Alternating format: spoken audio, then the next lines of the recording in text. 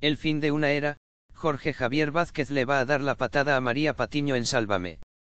¿Cómo se tomarán Vázquez y Patiño estas acusaciones? El 3 de julio de 2018, se insinuó algo muy grave en Sálvame. Podría ser que María Patiño traicionase de mala manera a su gran amigo y jefe Jorge Javier Vázquez. ¿Será verdad? Lo dudamos.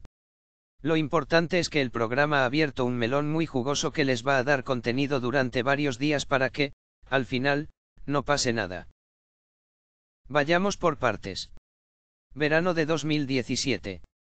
Jorge Javier Vázquez y su entonces pareja alquilaron una lujosa casa en Menorca.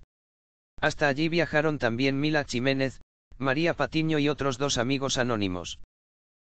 El grupo colgó fotos de su viaje en Instagram por lo que no era un secreto pero cierto día, navegaron por la costa y disfrutaron del día, ajenos a que un fotógrafo inmortalizaba todos sus movimientos. El truco está en que ese viaje en barco solo lo sabían los protagonistas, nadie más. Según confesó el 3 de julio de 2018 en Sálvame, el paparazzi Diego Arrabal, alguien alertó a los fotógrafos del destino vacacional del presentador, de sus movimientos y de la ruta exacta que hicieron ese día por la costa. Lo sorprendente es que, según el paparazzi El Topo, el que informó a los fotógrafos, iba en el barco con Jorge Javier Vázquez y lo hizo por ansias de protagonismo. La polémica estaba servida. Había pocas opciones, Mila Jiménez, María Patiño, el exnovio de Jorge Javier o los dos amigos anónimos que iban con ellos. La única que podía decir algo ese día era Mila, que estaba en plató y negó tajantemente que fuese ella la que llamó a los fotógrafos.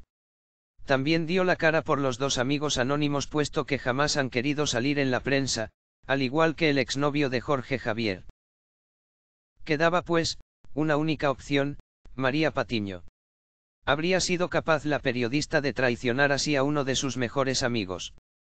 Por lo que sabemos de ella, es imposible. Lo que ocurre aquí es que Diego Arrabal ha querido sembrar la duda para que le inviten más al plató de Sálvame, para crear polémica y así lucrarse, tanto él como el programa.